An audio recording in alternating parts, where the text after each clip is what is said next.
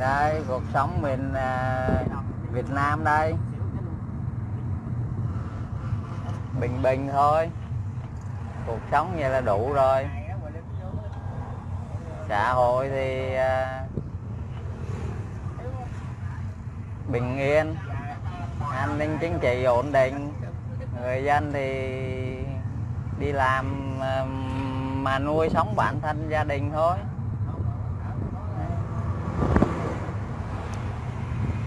Em về nhà anh Dũng anh. Em về nhà ở Đồng Nai. Tại cũng lâu lắm rồi, từ trước dịch ờ, tới giờ luôn là hơn nửa năm trời rồi. Đâu có về đâu. Sợ quên nhà, phải về trên nhà chút. Về mấy ngày.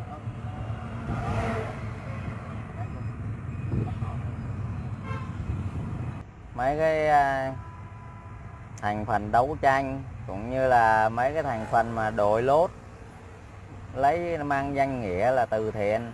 Nhưng mà cái thực tế là đang tiếp tay cho những thành phần chống phá đất nước và những cái thành phần dân chủ cuội ở trong nước. Cấu kết tiếp tay cho những thành phần chống phá ở hải ngoại, chống phá đất nước đã rất nhiều, chứ không phải là ít. Và trên các cái lĩnh vực Đấy. và trong cái thời gian gần đây thì nó đánh vào công an, quân đội, lịch sử, giáo dục. Là bốn cái mặt trận đó là thấy nó biểu hiện rõ nhất. Là trên bốn cái mặt trận đó. Là đánh rất là mạnh. Và cái việc mà tham ô, tham nhũng, cũng vậy. Thế khi rồi cái đám dân chủ cội cũng như những cái thành phần hải ngoại nó nói về tham ô, tham nhũng mà nó không có, nó không có hiểu cái vấn đề, nó không có hiểu về cái bản chất. Về cái tham ô, tham nhũng thì ở đâu cũng vậy thôi, nhưng mà ở đâu bao che và ở đâu xử lý mà thôi. Còn thực tế không phải là những nước tư bản nó không có, mà chẳng qua là bao che rất là nhiều. Và cái cái thông tin của phương tây thực tế đó là một cái hình thức là nó độc tài đó cái, cái thông tin của phương tây ấy, nó chỉ đưa những cái thông tin có lợi cho nó thôi. Còn lại những cái thông tin khác là lập tức là nó có những cái thành phần nó dẹp ngay những cái thông tin đó bằng những cái luận điệu lập luận ngược trở lại. Nó làm cho cái thông tin đó bị mọi người hiểu. Đó là cái vấn đề là, là nó sai. Đấy cái cụ, thể nhất mà rõ ràng nhất á, là những cái thành phần mà chống đối đất nước. À, chúng ta là ở Cali á mà cụ thể là cái thành phố phố Westminster nó nát như tương. Anh là đấu tố các kiểu. Này có cụ già tám mấy rồi. Nhắm là sắp sửa đi rồi. Nếu mà không nói là không được nữa. Mày buộc phải lên để nói. Đó đặt đặt ra những cái câu hỏi, nêu ra nêu ra những cái khuất tất của cái thành phố Westminster đứng đầu là ông thị trưởng Tạ Đức Chí. Rồi ờ, một cái thành phố mà bốn ông nghị viên thì bết ba ông người Việt rồi. Nhưng mà sắp sửa là vợ nợ do hết khả năng chi trả. Lý do là bị kiện nhiều quá. Bị một cựu cảnh sát trưởng của thành phố tống tiền. 10 triệu đô la. Nhưng mà khi không được á, thì phải à, đưa 500 ngàn đô la hối à, hối lộ cho cái tay cựu sát trưởng cảnh sát trưởng nó nó nó không có kiện thì khi tay cộng cảnh sát trưởng này nhận 500 ngàn đô la rồi đồng ý không kiện rồi, thì một tờ báo nó lại phát hiện ra cái thông tin đó. Nó lại tống tiền, lại mất hết trăm mấy đô la nữa. Trăm mấy ngàn á, chứ không phải là một trăm mấy đó, ấy đâu. Đó, thế thế là anh rồi là cứ kiện nhau liên miên. Đó. Tạ đức trí thì bị những cái người việt kiều ở bên đó là tố cáo là cho cảnh sát đi khủng bố những cái cơ sở làm ăn của người ta để cho người ta làm ăn không được luôn, người ta phá sản luôn, người ta đóng cửa luôn. Đó. Cái thế giới tự do đó cái gọi là hậu duệ Việt Nam Cộng Hòa đó. Nó làm chủ ở cái thành phố Westminster ở Cali đấy. À, nói gì không? Những thành phần như là Tân Thái, Benny Trương, ờ, Hoàng Nguyễn rồi nói gì về cái thành phố Westminster không? Đấy rồi vừa rồi nửa vòng trái đất nó mới đăng đó mới đăng đấy nghe thử đi, coi cái thế giới tự do, cái cái nào gọi là tự do nhân quyền. Chỉ có oẳng về đất nước Việt Nam là giỏi thôi. Mà mà cái bản chất của tụi mày có phải rõ ràng như vậy không? Phải rõ ràng như vậy chưa? Tốt đẹp gì không?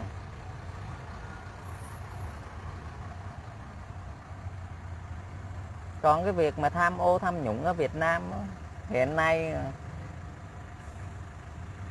không có một cái vùng cấm nào và cũng không có khái niệm gọi là hạ cánh an toàn. Chỉ cần điều tra ra anh vi phạm thì đều bị xử lý hết. Đó là một cái tín hiệu tích cực. Một cái niềm tin đối với đảng, đối với nhà nước. Quyết tâm quét sạch cái lũ sâu bọ, phá hại đất nước chặt một cái vài cành để mà bảo vệ một cái cây Đấy.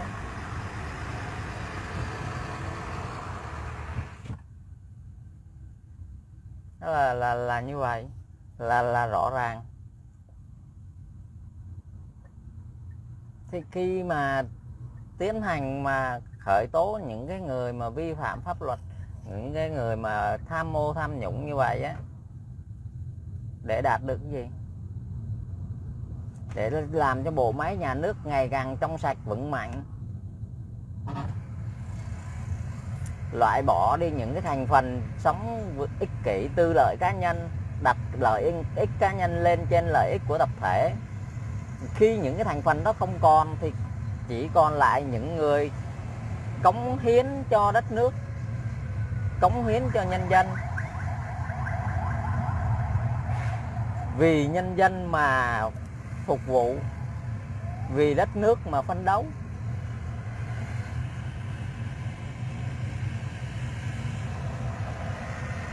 Hoàn thiện con người xã hội chủ nghĩa. Trong cái giai đoạn, trong cái thời kỳ mới.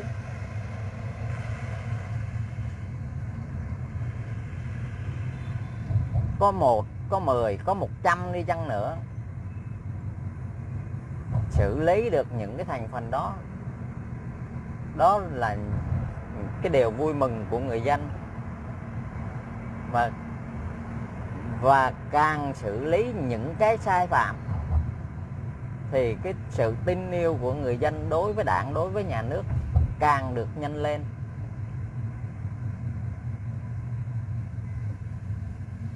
Xử lý, cái việc xử lý những cái thành phần vi phạm pháp luật đó nó không giống như trong lời của những cái thành phần chống phá nó nói. Mà ở đây tất cả là đều phục vụ cho lợi ích của nhân dân. Nó chỉ như vậy thôi.